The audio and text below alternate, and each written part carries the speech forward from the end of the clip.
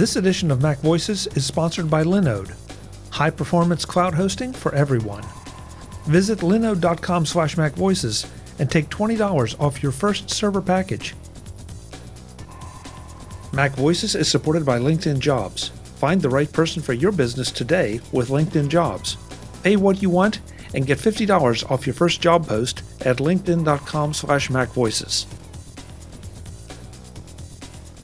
Welcome to Mac Voices Live. I'm Chuck Joiner. We're broadcasting on Facebook as we do every Tuesday night. That's sort of become a new thing. Um, but tonight we're going to try something a little different. We've done panel discussions, we've done ad hoc discussions, but we haven't had guests on to demonstrate software. So we're going to try that tonight with our friends Terri Morgan and Chris Demiris of Luma of Luma Touch. Excuse me, Chris, Terri, great to see you. Good to see you, Chuck. Thanks for yes, having us on. Nice to see you. Thank you. Well, thank you. This this is the first time we've tried to do a demo with kind of without a net. Um, so if, you know that's and we all know that that's dangerous to do but um, I, I, was obviously anxious to get you back on the show to show off some of the new things that you've built into uh, into luma luma i keep trying i, I keep getting them mixed up into luma fusion um, and so we're going to try to show some of that stuff off tonight by screen sharing um, so if, if folks are in the chat room i want them to feel free to throw their questions in there we'll try to answer them and if time permits, we may even throw it open and let folks join us. We'll see how that goes.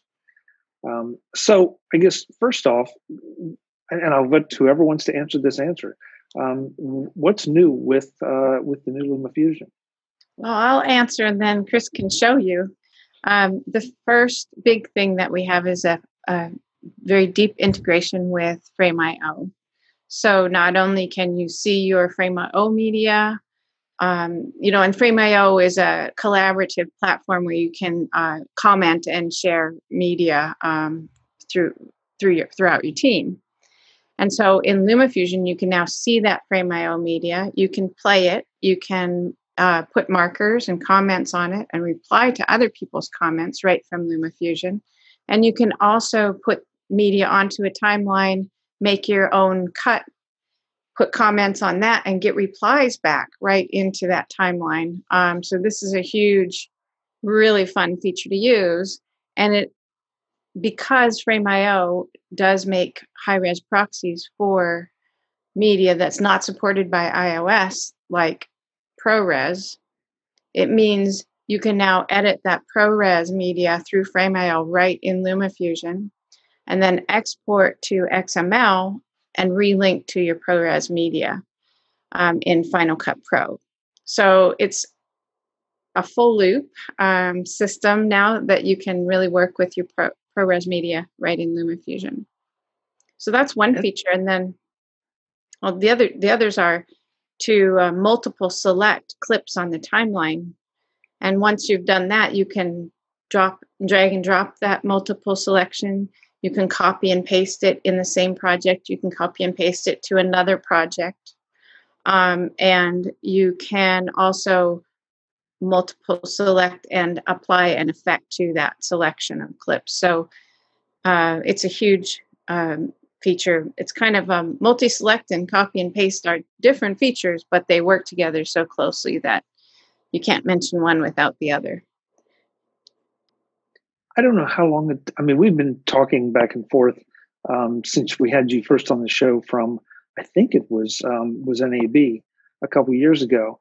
And we've talked about the, the issues of trying to move between uh, Final Cut and, and Luma. And, you know, I know you guys have not hinted around, but you've indicated that some of these features are, were coming at some point. And now it sounds like they're actually here. Yes, we've had the Final Cut uh, export to Final Cut Pro since I'm not sure the date, but it it, w- it was the last major release. Uh, how, when was that, Chris? that was back in March, if I remember right. But yeah. time has time has gotten a little funny these days. yeah, but I mean that that was great, and you can you can export your Luma Fusion project, but now with Frame.io, it means you can actually start with ProRes Media, put that in Frame.io, see all that media right in LumaFusion, edit with it, and export to Final Cut. And that it provides you a, an, a way to edit your ProRes media. um, that was never there before. So don't let me get ahead of us um, because I'm not sure, if, Chris, if you'll be showing this or not. But so if if the ProRes media is in is in Frame.io, is Frame.io acting as a as a server for it, or uh, is that yeah, is that the way to that's say? That's exactly right. Whenever you upload media to Frame.io, it will automatically generate proxies at different sizes um, for different uses. And so, you know, if you upload ProRes, it'll automatically create a number of different size proxies that we can use for editing, and then, you know, you can preview everything you need and then upload to uh, uh, FCP and get back the original original footage if you need it which took me exactly where I wanted to go. So even though I'm moving and, and I, I apologize if at any point in this process that I, I talk the iPad down because that's not what I mean. But I, I think there's a perception uh, that you know by going with the iPad you might be compromising a little bit. And with this, I'm all I'm doing is working in proxy media. I still have the ability to get exactly out what I wanted would have if I had done this strictly in Final Cut. Exactly. And, and that was one of the key things that we added because, you know, there are still, you know, while the, the iPad has become incredibly powerful and with LumaFusion even more so, um, you know, there are still some limitations on what type of media it supports. You know, it doesn't support some of the RAW formats. It doesn't currently support ProRes.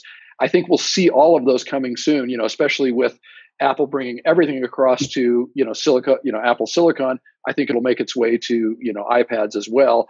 But in the meantime, you have the best of both worlds. You can, you know, still edit on the iPad, edit wherever you are and still have all the original media that you worked with, you know, on the desktop. And, and so, yeah, we've, we've given you the best of both. Chris, at the risk of taking us off uh, off topic just a little bit, you you brought it up. I didn't. Does the Apple does the potential move to Apple Silicon does that affect you at all? I mean, I, obviously it doesn't affect necessarily iOS, um, but is this good news for uh, for LumaFusion? Is it bad news, or is it just sort of neutral? It's it's absolutely good news. Honestly, it it means that there's going to be feature parity, you know, between Mac OS and iOS much more clearly, and and things like ProRes will come down to iOS for sure because they have to make that port over, you know, for the Mac anyway. And so I think you know they'll bring it into iPad when they feel that it's you know from a business standpoint it makes sense. But right off, one of the more interesting things is that if you get one of the new um, Silicon uh, Apple Silicon Macs, you'll be able to run uh, LumaFusion right on there you know from day one on those because there's no translation necessary. You can just run ios apps on there. You know there's nothing we have to do to make that happen. So for a number of our users who've been begging for us to do a mac version you know that'll be the, the quick and easy way to get it. Now you know maybe in the future we'll do something you know a little more full scale but you know we we don't currently have plans for of that because we feel that really our app is well designed for the mobile platform and it's becoming more and more powerful. So we haven't really you know pushed that direction. But for those who do want it it'll it'll be there now this is taking an unexpected turn and i like it uh, since since we're live especially so let me just go just a little farther down that rabbit hole i promise we'll come back but if if lumafusion can suddenly run on um, on apple silicon on on a mac I guess my first question is A, does it put you in competition with Final Cut? And B, you built this for a touch interface, and yet right now we don't have any touch Mac, touch screen Macs. Right. Well, the interesting thing is Apple has been moving this direction for a while now. You know, when you look at the um, Magic Keyboard that comes with, you know, that you can get for the iPad Pro, it has a trackpad with it, and they've done a lot of work on um, refining the user interface to allow for that in a different way than touch, you know, and in in conjunction with touch, as well as key, you know, uh, keyboard shortcuts and things like that. So they're moving the two closer together. So when you bring it over to the Mac, it'll be a slightly different experience than using touch, but it will be similar to using um, the touchpad currently on the iPad. And we've been doing a lot of work to improve that functionality within LumaFusion as well. Um, so yeah, it's it's still not going to feel like a first class Mac app, you know, when it's running just straight across on Apple Silicon. But, you know, for a number of users, it will be a nice way to quickly bring their projects back and forth if they're on a desktop. Um, I think that'll work. Now, whether we are in competition with Final Cut in that case, I, you know, what I always feel is that there's multiple tools. In fact, a lot of our users have both because they do like to edit, you know, you know mobilely and you know but there are things they want to finish on the desktop and i don't think that'll change But I think for some users, they really like our interface better. They like some of the things we've done, like being able to edit you know lock tracks for example you know and work on a more of a track basis but still have the magnetic timeline that you know that final cut provides. And so for some users they find it actually easier to use our app and they might either start or finish in our app and still do that on the desktop. So i, I think there's room for both quite easily yeah yeah I, I would agree. I mean and video editing is one thing but there are plenty of other applications graph notably i think graphics applications where you start something in in one program then you take it over to another um, through whatever interchange formats are available, uh, and then bring it back to the first one to finish up. So there are lots of lots of precedents for this. Right. Yep. So, is it Terri? Is it time for uh, Chris to do the demo, or is there anything else we should know before we start to look at this? Well, let's see. So, yeah, I mean, now that we've gotten 2.3 out with um, these new features in it, we're all headed for our next release, which has some really cool things in it as well. And um, so, I, I, if you don't mind, I'll just list a few of those. Uh, first is the um, we're we're working with SRT files and subtitles, so we're going to be doing imports of SRT files, and eventually, um, I don't know if this will be in uh, phase one, but uh, voice to text translation um, to make subtitles. And then um, we're going to be changing our keyframing so that you have ease in and ease out on your keyframes in the effects editors and being able to move those keyframes around. So that's a thing.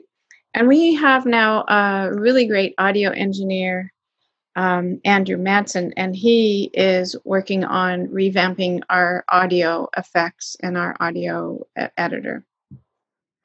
And um, so those are some of the things. And then we have one really big thing that Chris is working on, and I'm going to save that one until our next conversation. I'm trying not to let that out of the bag yet, but it is coming. So anyway, there's lots of things coming, but uh, yeah, it is great time for Chris to show you what's what you get in the app if you buy it today. Chris, before you do, Terri, you said something there that I'm I'm always intrigued by, um, and I think I think I heard it right. Uh, that would be uh, voice to text for mm-hmm. subtitles. Mm-hmm. How how is that? I mean, what do you if if it's not asking you to reveal anything you don't want to? What kind of engine are you using for that? I'll leave that the to nice, Chris. Yeah, yeah. yeah. So yeah, the nice thing about that is Apple has actually built in, you know, with the newest version of um, iOS, a really good um, uh, speech to text engine built in.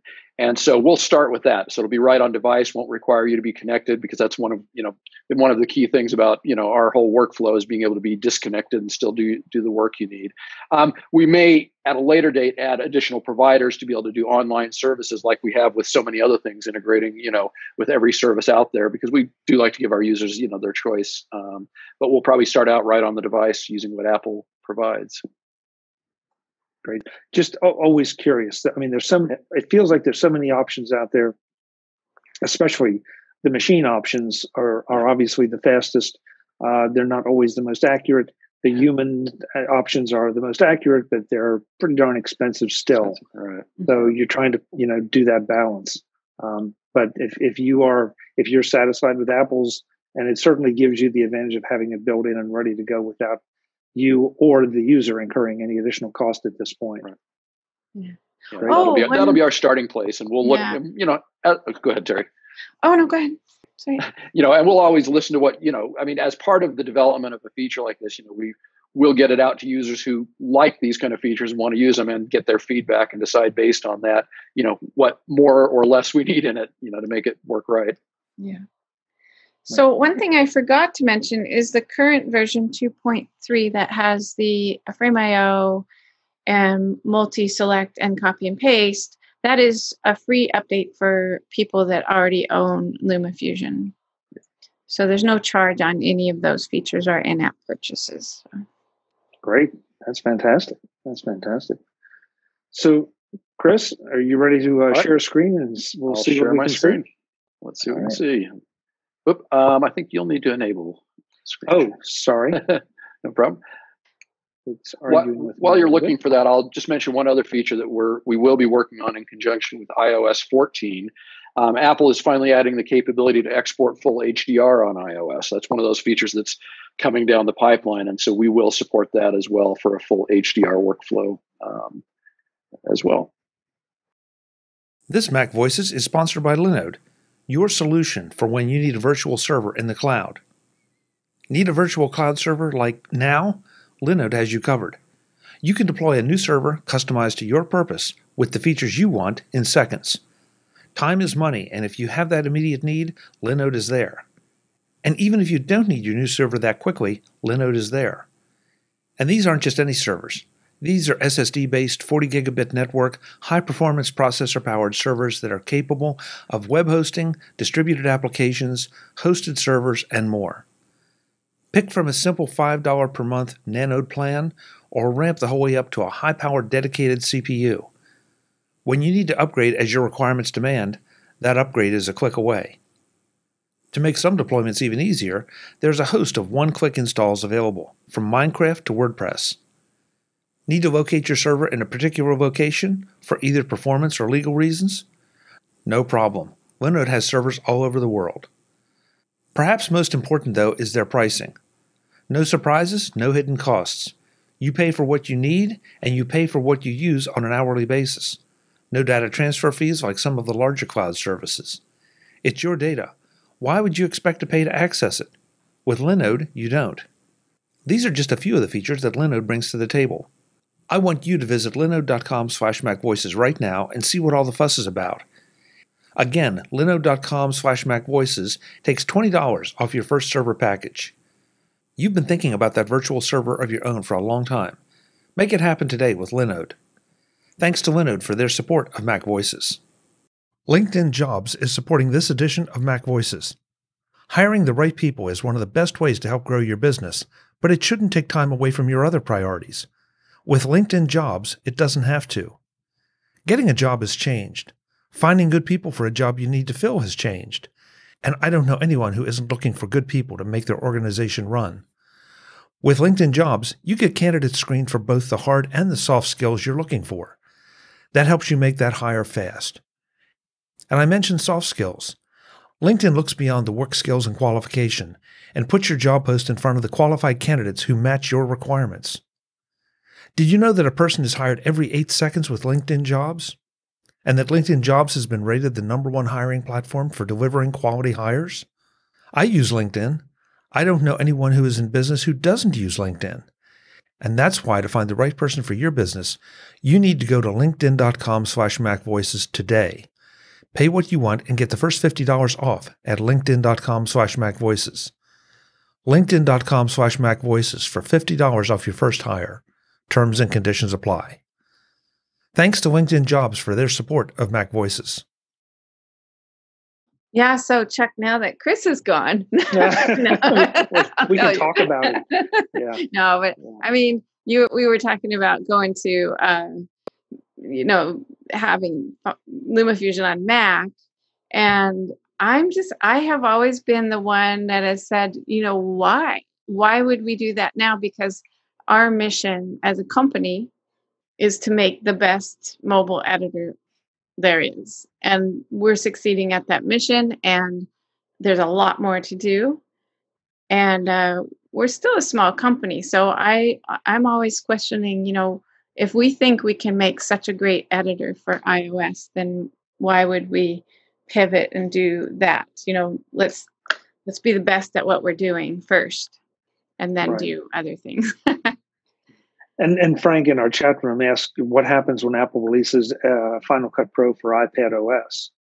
Well, I mean, we're not talking about like big investments here. So yeah. LumaFusion is currently thirty dollars. So I think that um, for most people in this industry, you can own more than one application or app quite easily and find out for yourself which one works best. And sometimes uh, LumaFusion will work better for a project, and th- and and maybe if they have Final Cut for iOS, that might be better for other projects.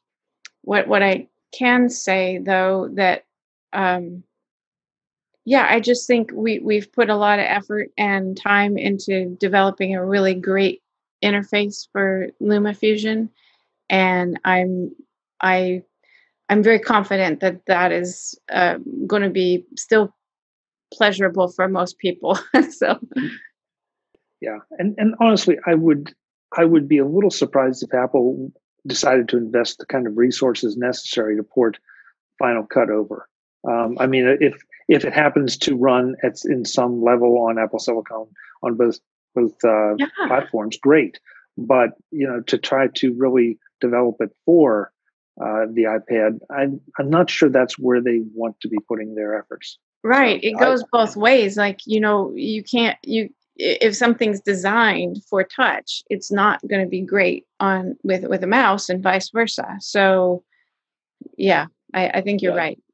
Yeah, and I, I think Apple has their work cut out for them to bring, you know, if they want to bring Final Cut to iPad. I think it's a very different, you know, thing. And I think they probably have their work cut out for them getting everything running beautifully on the new, you know, Silicon Macs. You know, they'll probably take their time for a while, but you know, when when the time comes, hopefully we'll have all these wonderful new features we've been talking about and more out that'll, you know, you know keep us well ahead of the game and and we you know the type of integrations we do that we can do as a small company also i think are also going to differentiate us you know the things like frame.io and integrating with dropbox and everybody else where you know we don't have the business decisions to try to f- focus on icloud drive we can give people the choice of anything they want and and so i think that'll always be a differentiator for us and our support yeah. i mean we have an amazing support, yes. support team yeah. Yep. and we we've seen plenty of examples where uh, Apple incorporates a feature that is similar to, or sometimes exactly the same as you know some a third party application, and some have just folded up their tent and walked away, but some have found very effective ways to compete. So mm-hmm. it's you know it's it's the market, it's the way it is. Um, but yeah, with with the way you all have approached this, I think you're absolutely right. I don't think you'll have any trouble competing if it even comes down to a competition. If it does, it may not yeah. be a big enough pool of of income for for Apple where it's fine for us, but it may not. You know, it's just a blip for them, so they may right. not even bother. yeah, exactly.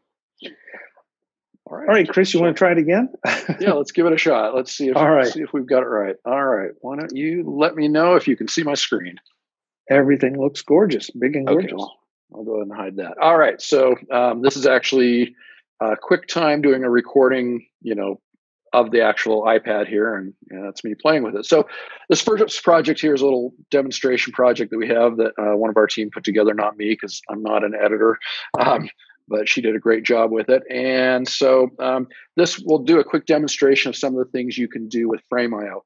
So over here in the library, you can see that we have, you know, for those people who are using Frame.io, and Frame.io, by the way, is a subscription service that's separate from us. You'd have to have you know you'd have to sign up for frame.io and we just provide an integration to that service. So um, the integration's free but frame.io itself is a is a paid service. Um, so here looking at the library we can already see there's these little orange icons on some of these um, clips and that indicates that there are comments on those clips. So we're looking through the library of clips that we've got and we can look at different comments that are there. And so um, in the little timeline indicator here we can see where the comments are by these little dots that you see that appear so if I tap on one, I can immediately see um, one of the comments. This is from Andrew. It says, Would you push in this shot? It needs to be a little closer. And there's actually two there. So if we open it up, we can actually see some um, replies to it. So, you know, Terri replied, This is the best idea. idea. And Zach said, Yep. And I don't know why Andrew said, Where's this comment? But he did. so you can see you can have a whole range of comments there and a couple things you can do you can mark a comment as completed. So if you're working whoops um, if you're working on something you can mark it as completed there and say okay i'm done with this one. And so you can keep track of work as you do it. And you can delete a comment if you want. And even more so um, frame.io allows you to add graphics to comments what they call annotations. So if i jump to this next one you'll see that there's actually some, you know, a box around the eye and a little arrow there that were drawn on uh, Frame.io, and you can see those in LumaFusion as well. And so it's very easy to quickly collaborate by getting comments from a wide variety of people on your team, you know, anywhere they are, and be able to see them right in LumaFusion.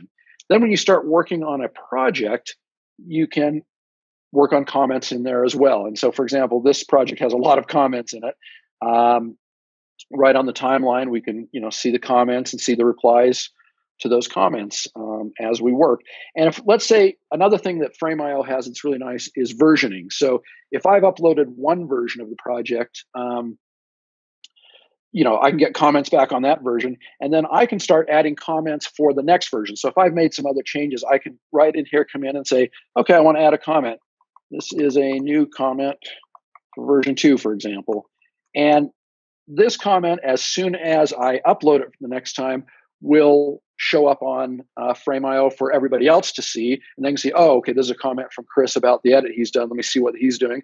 And they can do replies to it. So it creates a whole really amazing collaboration um, uh, between teams. And so other team members will be using different interfaces of Frame.io. They'll use the web-based interface where they can, you know, browse and preview the media and do their own comments there. Or they might be on the desktop um, working in Final Cut and they can see the media there, see the project that I uploaded, um, and work with that the way we talked about before.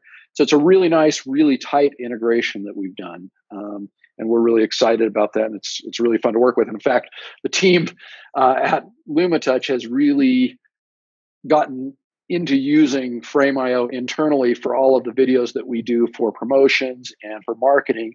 And, you know, they do a lot of collaboration that way and get comments back and forth. So it's become a really nice tool. Um, and of course, the fact that it's integrated into, into LumaFusion makes it a lot easier. So that's a little bit about Frame.io. Before you go on, Chris, let me make uh, sure yeah. that I understand. Yeah. So you've loaded you've loaded this project from Frame.io and that's where the comments that have previously previously been made are coming from. Right. Well, this this project was created in LumaFusion and uploaded to you know exported to Frame.io, and then people added comments to it. And as soon as they add comments, um, those comments will appear in the timeline. Now, actually, what I'll do, let me show you a little bit um, about how this works. So it'll be a little more clear if I actually add a comment here. So I'm going to log in and add a comment to this project if I can find it really quickly. Um, I'll have to see if I can remember where that is. We will do a quick search here. Um, this was animals. Okay, let's see if I can find that. Oh, I cannot find that. So let me give you a little different example. I'll just go ahead and select this clip just so you can see it in action because I know where this one is um, right off the top of my head. Um, okay, so let's see. This is the close-up. Okay, yeah, that's this one. So here we can see the same, you know, comments in Frame.io. Um, yeah, that we had before. Oh yeah, there's the graphics. But if I want to add another one, I'll go ahead and add another one here. Um,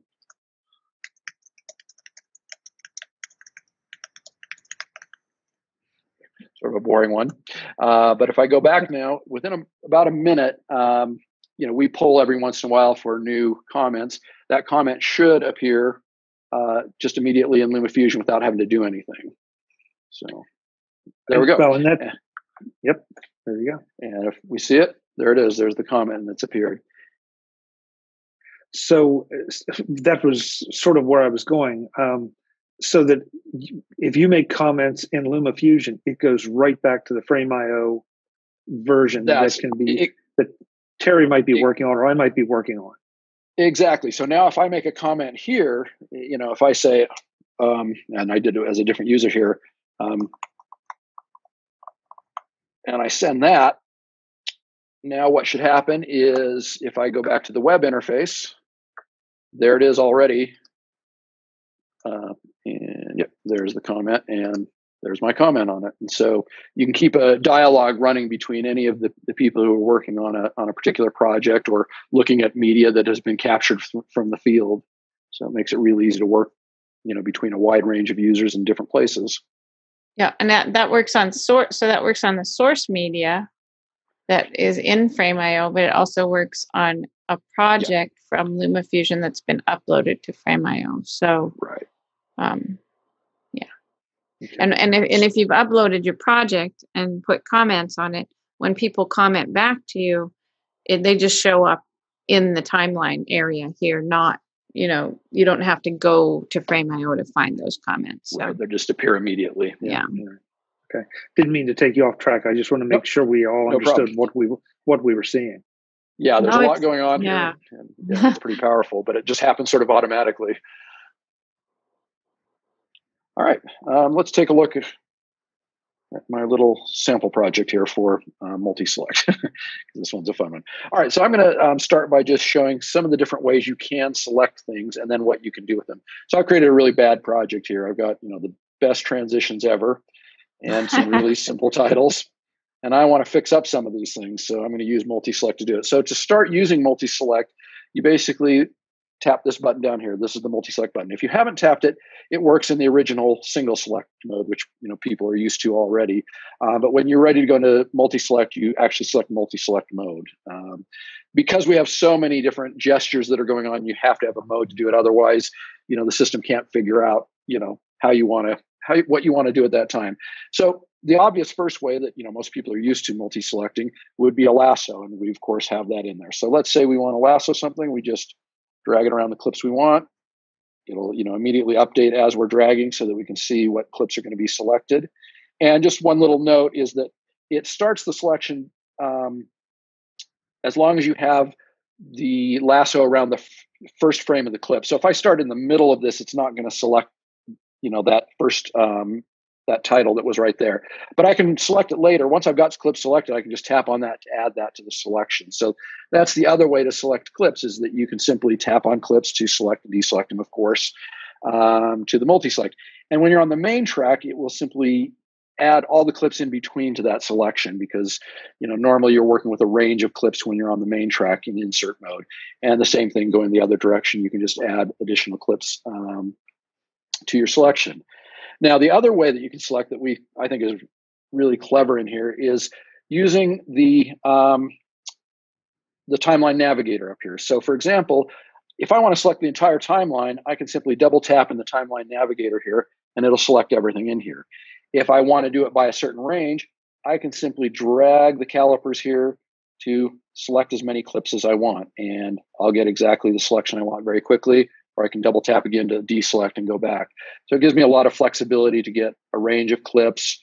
And if you know I need one additional clip, I can then add that in. So it's really quick and easy to select um, a lot of clips in the timeline. So we tried to make it as, as simple as possible to select what you need when you're working with it. Well, let's start by fixing up a couple things in this in this timeline. So the first thing I want to do is change those transitions out. It that was a poor choice of transition. So I'm just going to select the entire timeline because I want all these transitions changed. And I'm going to go to my presets, go to transitions, and let's make them simple cross dissolve. So we've done that. And now if we go back, we'll see that all of those transitions now are, are simple um, cross dissolves. Now, I also don't like these titles very well. I want them a little more interesting. So I am going to, well, in fact, I can, again, I can just select the entire range. It doesn't matter. It'll only change the titles on this. And I will go to presets and select a little different preset. So let's say, you know, let's take uh, this one right here. And the nice thing about it is, whoop, there's a live demo. Uh, uh, there's undo for you. Um, it's changed all of the title styles, but kept all of the text in there and made that really easy to quickly play around with different styles that I want. That wasn't quite what I wanted, so let's change it to a little different one. Let's let's change that one there. And so now we have a little different style and have exactly what we want. The last thing I want to do, let's say we want, I wanted a little different styling of these videos, and I really want them all to be black and white. So what I'll do is go ahead and change one of them, and I'll come in uh, to the clip editor, and I'll just go ahead and pick a um, um, a color preset. Let's maybe adjust it a little bit, get it a little brighter there, and I like that. So now I'll go back and I want to apply that to all of the other clips. So all I have to do here is go ahead and copy this clip and now I will select um, all the other clips that I want to apply that to. And this time I won't pick the titles, otherwise it'll make the titles black and white, so we don't want to do that. And I come to the paste uh, tool. And the paste tool allows me to either paste clips or paste attributes. And in this case, since I have multiple clips selected, it assumes that I want to paste the attributes. And I could paste the motion, I can paste um, the blending. In this case, all I want to paste is the color attributes. So I'll go ahead and paste that. And now all of them have been made black and white. So it's really easy to get styles across multiple clips, which was a little cumbersome before. And so we've made that really quite simple. So now the last thing obviously you'd want to do with copy and paste or with multi-select and copy and paste is work with a large range of clips and, move them around. So I'll go back to this other project that's a little more complex for that. And let's say I want to move this cool um, composition here somewhere else in the timeline. So I'll go ahead and multi-select, grab all those clips, and I will, I could either right now, I could simply do a drag and drag them anywhere in the timeline. Let's say I want them there. And now I've moved it and made it an overlay there. Or let's say I wanted to cut and paste it somewhere else. So I could come to the tool here to say cut. And I'm not quite sure why I did that to the timeline, but it did. Um, and come to the end and go ahead and paste those down. And it pastes exactly the way I had it before. If I had wanted to um, keep them all on the main track, let's go back a couple steps and I'll just show you that. Because normally what you're going to do is, and again, undo goes back as far as you want. So if you ever do make a mistake, it's really easy to get back and, and try again. Um, so I'll go ahead and do this and I'll do a cut this time. Move to the end of the timeline. And we'll move to the end of that timeline and hit paste. And there's my clips um, pasted to the end of the timeline. Now, the last thing I might want to do is take something and copy it to a new project use. I really like this composition and I want to use it in a different project. So I will once again uh, multi-select and hit copy. And let's just start a new project now. And we'll go ahead and paste that into the new project. well, there's a live demo for you. it happens. Yep. So I'd been kind of I'd been kind of disappointed if it went smooth. If it went, that's right. we wouldn't want that, would we? Um, give it one more shot just for fun. Let's, uh, let's add these clips to it. Go to my new project. And I am working with a beta version that is a mid build. I should not have done that, so that's my fault on that. And so I won't quite show that, but you can copy and paste between projects. you can. That, you actually can nicely. even drag if you can pick up a selection of clips and open a project with your other finger and put them in there. So like that's something that one of our customers told us about. and it works quite well. I, am sure I'll crash it again by doing that, but I'll go ahead and do that right now just yeah, for fun. I think it does. Maybe work. it'll work better than a copy and paste right now. Who knows? Yeah. No, I, no, yeah, it doesn't. So, okay, well, so, it does so work. I apologize. In the, in the I, release. I yeah, in the release, it's working fine. So again, yeah. yeah, we're testing some new features and uh, just found a bug today. So that's no, always fun. We love beta builds. No, that's yeah, that's right. it's just the nature of things. so, so that gives you a little idea of what uh, multi-select and copy and paste can do, and, and uh, you know we put a lot of time and effort into. There's a lot of little details that you sometimes don't think about, you know, um, in these things that we spent a lot of time getting right, and I, I think you know, it it took longer than we expected because of those things, because of all the ways people can use it and put clips in the timeline and select clips and drop them down anywhere they want.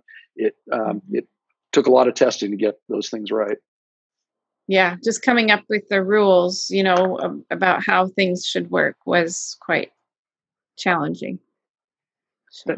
That's an interesting point, Terri. That you you probably did have to uh, lay out some rules for things yes. as opposed to just making decisions, or you know, I mean, at some point, this is how it's going to function, and so you can't you can't do it every way that maybe a user would like to, but if you can accomplish it, right. at least you can tell them how to get it accomplished. Yeah, like does something stay on the same track, or do you let it go to a new track if that track is busy?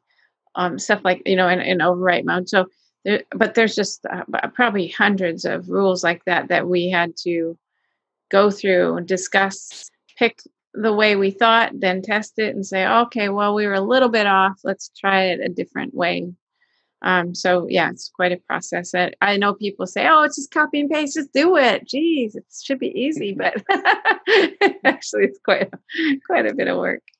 Well, we especially in iOS. I mean, we all remember how the, the struggles of early versions of iOS that didn't have copy and paste because it's just not as easy as, as everybody, yeah. everybody thinks everything is so easy when it works.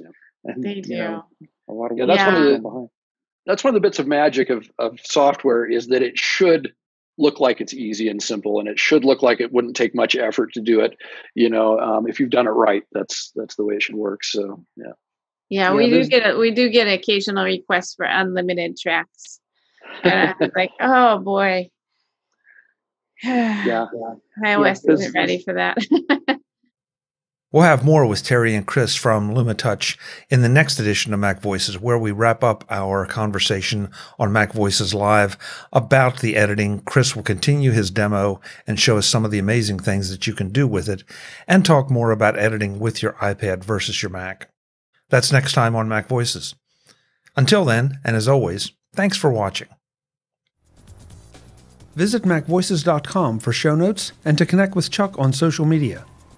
Get involved in our Facebook group or like our Facebook page, and get more out of your Apple tech with Mac Voices Magazine, free on Flipboard and on the web. And if you find value in it all, consider supporting us through either our Patreon campaign at patreon.com slash macvoices or by making a one-time donation via the PayPal link on our front page and in the show notes of each episode. You will join these fine people who help bring you Mac Voices.